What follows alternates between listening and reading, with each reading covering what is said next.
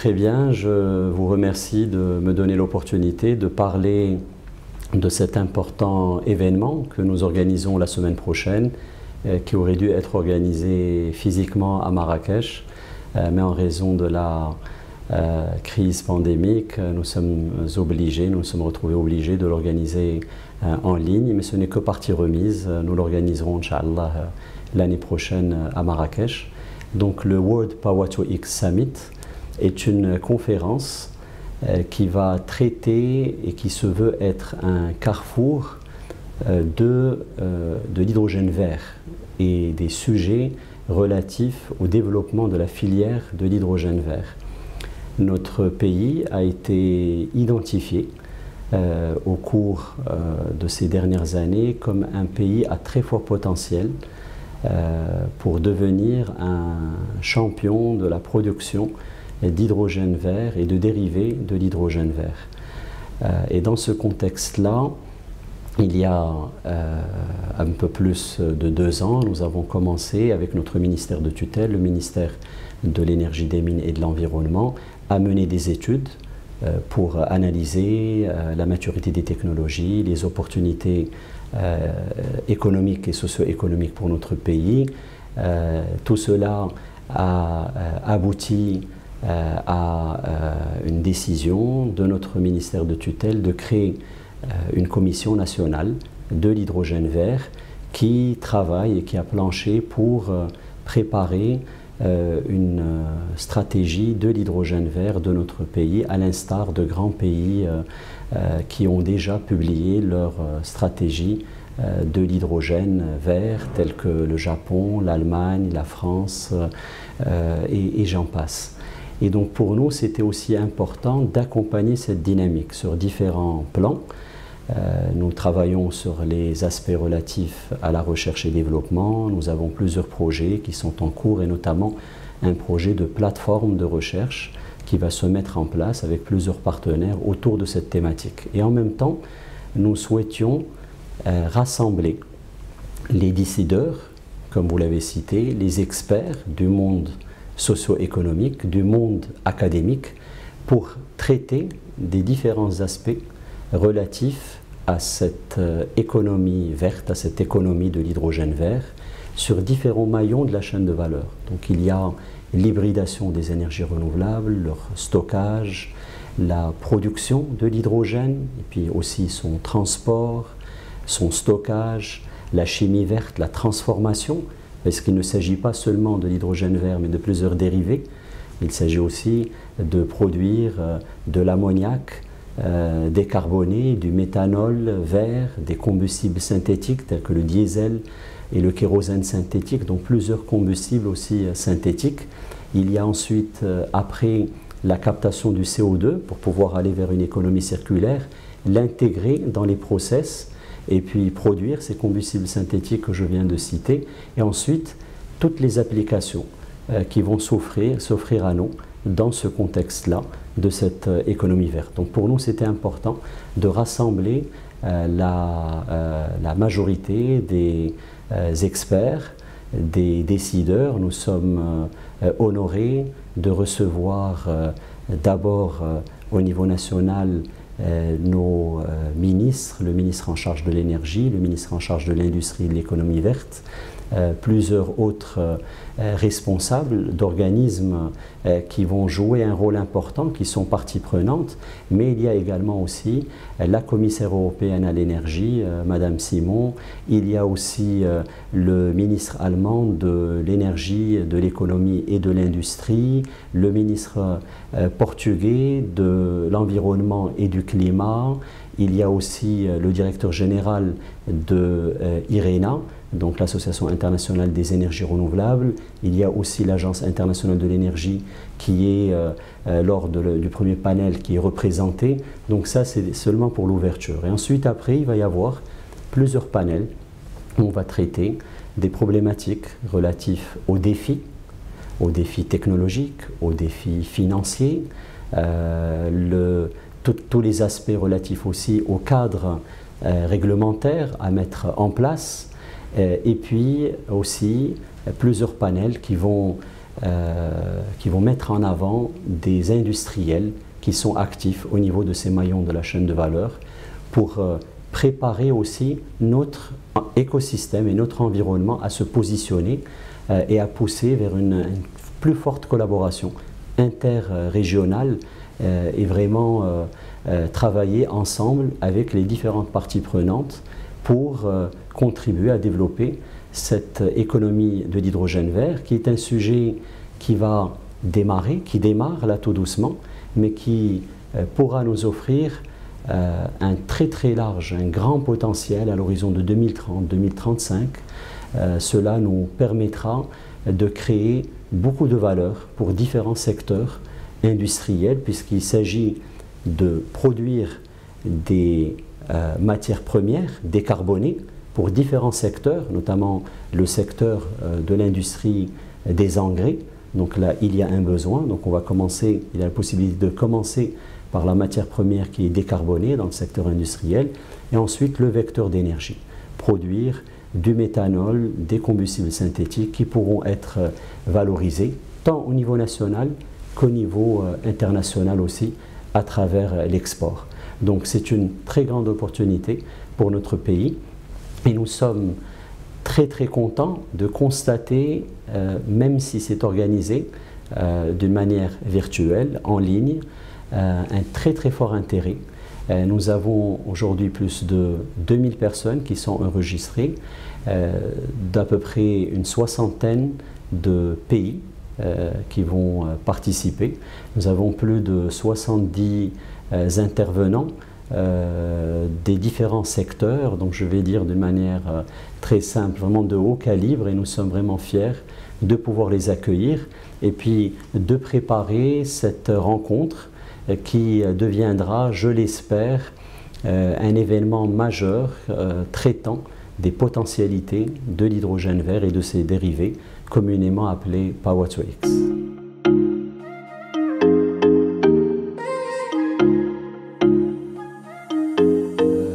attendra et on espère qu'à travers cette rencontre, qu'on puisse soutenir les gens à euh, mieux se connaître, mais aussi on offre une plateforme pour découvrir et il y aura des présentations des différents pays pionniers, des représentants des différents pionniers par rapport à la stratégie de l'hydrogène. Donc c'est des benchmarks qui vont nous permettre aussi de mieux nous orienter.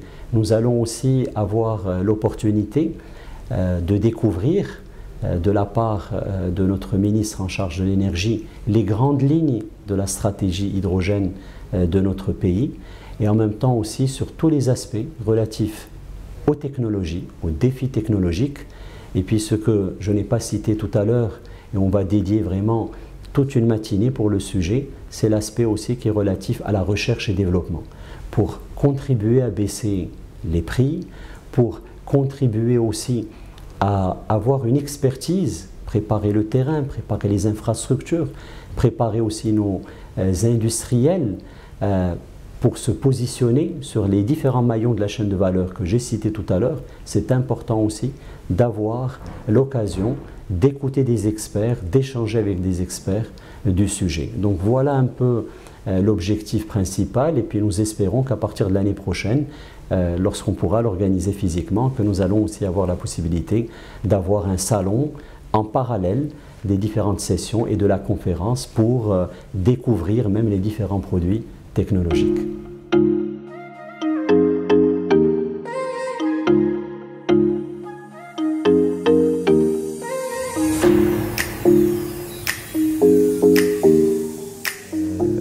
Aujourd'hui, le Maroc est reconnu euh, en tant que champion des énergies renouvelables au niveau continental, au niveau mondial. Tout cela, c'est grâce à une vision euh, très claire et ambitieuse de Sa Majesté le Roi, que Dieu l'assiste.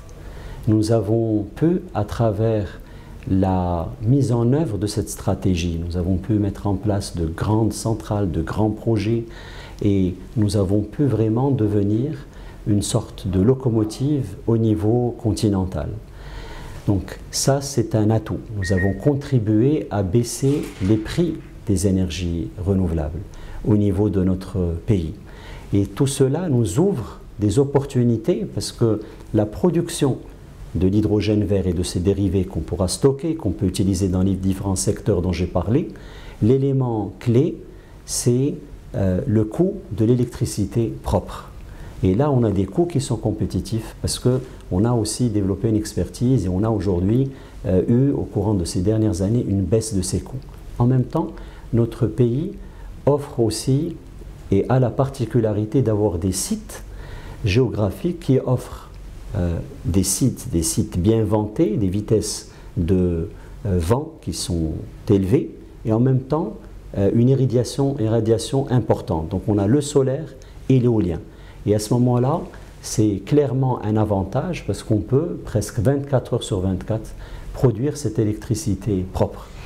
Et nous avons aussi une très bonne interconnectivité euh, au niveau régional, que cela concerne euh, la connectivité maritime, la connectivité gazière et électrique, et puis aussi une très très bonne euh, relation avec plusieurs pays aujourd'hui phares autour de ce sujet-là, notamment la première puissance économique européenne, l'Allemagne, qui a signé le premier partenariat énergétique international autour de l'hydrogène vert avec le Royaume du Maroc. Et bien évidemment, nous continuons aussi à nouer des relations, que cela soit avec la France, avec l'Espagne, avec le Portugal et avec d'autres pays, pour justement créer euh, un marché régional, parce que ce marché régional, il va tourner et s'articuler autour de pays producteurs, de pays importateurs, et le Maroc pourra sûrement jouer un rôle en tant que grand producteur de ces euh, combustibles synthétiques, de ces matières premières. Cela nous permettra de contribuer et de financer notre transition énergétique, mais aussi de contribuer aussi à décarboner des économies de pays voisins. Donc euh, aujourd'hui, notre positionnement sur les énergies renouvelables nous offre cette place et nous sommes parmi les premiers pour pouvoir s'accaparer une partie importante qui va se faire sur le moyen terme, une part importante de cette économie de l'hydrogène vert. Donc euh, l'enjeu, c'est de pouvoir aussi profiter de ces atouts et de pouvoir rapidement se positionner comme un pays pionnier, comme une locomotive, pas seulement en ce qui concerne les énergies renouvelables, mais aussi en ce qui concerne les combustibles synthétiques, les dérivés, l'hydrogène vert, les dérivés de l'hydrogène vert, parce que cela nous permettra de développer notre industrie, de développer encore plus une industrie décarbonée, de développer encore plus euh, de centrales et d'installations renouvelables, de pouvoir aussi avoir un impact très fort socio-économique, puisqu'il va y avoir du dessalement de l'eau de mer. Le coût est dérisoire par rapport au coût de l'hydrogène, donc on peut procéder à une production d'eau euh, potable plus importante à travers le dessalement sans un impact sur le coût et cela contribuerait sans aucun doute aussi à développer les régions à travers de l'irrigation, à travers aussi un accès à de l'eau à bas coût, de l'accès à de l'électricité à bas coût, à de l'énergie aussi, à un coût abordable. Cela nous permettra clairement aussi de contribuer au développement économique de notre pays et puis en même temps créer de la valeur puisqu'il y aura aussi la possibilité d'exporter ces matières premières.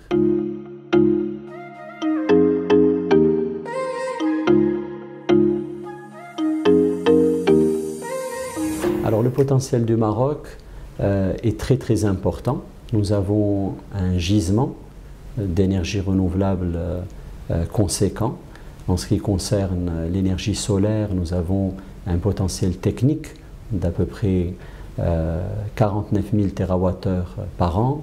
En ce qui concerne euh, l'éolien, nous avons également aussi un potentiel qui dépasse euh, aussi les 15 000 TWh par an. Donc nous avons un potentiel renouvelable très important qui nous permettra sur le moyen et long terme de couvrir nos besoins, mais aussi d'exporter cette énergie. Et le sujet du Power to X, de la production de l'hydrogène vert, des combustibles synthétiques, si vous voulez, d'une manière très simple, eh bien, on va pouvoir prendre cette, euh, cette énergie solaire, on va pouvoir prendre euh, cette énergie éolienne, le vent, les mettre dans des bouteilles et pouvoir aussi les exporter. Donc, euh, si vous voulez, il y a un très fort potentiel pour notre pays Et c'est justement la raison pour laquelle nous organisons l'événement la semaine prochaine pour découvrir euh, les premiers chiffres de potentialité de notre pays qui sont sûrement aussi, euh, qui se comptent en, gigawatts. Donc euh, c'est un potentiel très très élevé et ces grandes lignes seront présentées lors de l'événement du World Power X Summit. Donc je vous invite aussi à participer à partir du 1er décembre, du 1er au 3 décembre.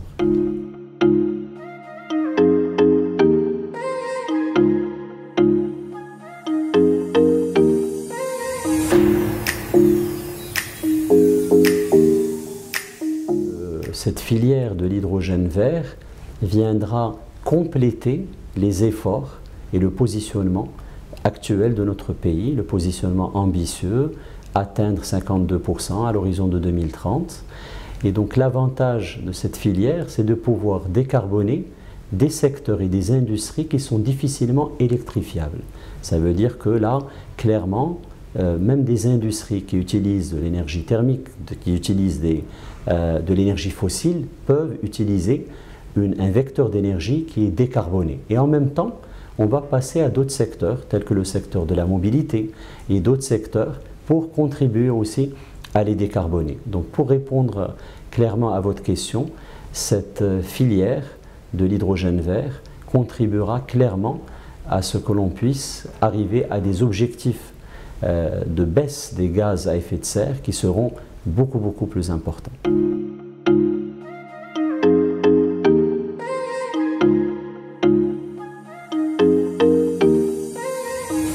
En ce qui concerne euh, la situation actuelle, j'ai parlé des études, donc euh, avec notre ministère de tutelle, avec les différents partenaires et les membres de la commission hydrogène vert, nous avons mené plusieurs études, mais aussi au niveau d'IRSN, plusieurs études en relation aussi avec les technologies.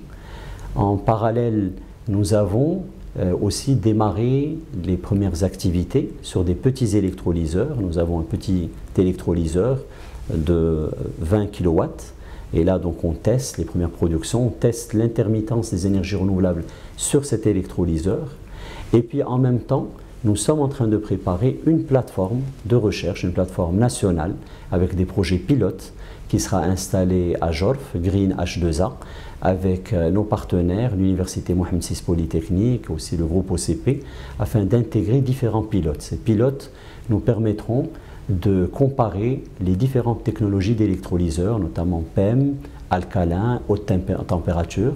Nous allons pouvoir aussi intégrer des process qui vont nous permettre aussi de produire euh, de l'ammoniac vert, de produire aussi en rajoutant du carbone, euh, du méthanol vert, mais aussi les combustibles synthétiques, euh, le diesel synthétique et aussi le kérosène synthétique. Donc tout cela va être testé au niveau de cette plateforme. Et il y a également des études en cours pour préparer au niveau national un projet référence de plusieurs dizaines de mégawatts en partenariat avec un soutien aussi du gouvernement allemand. Donc tout cela va voir le jour et on va assister au courant de ces trois ou quatre prochaines années euh, aux premiers jalons, aux premières pierres qui vont être posées et qui vont nous permettre de nous positionner rapidement sur cette économie de l'hydrogène vert.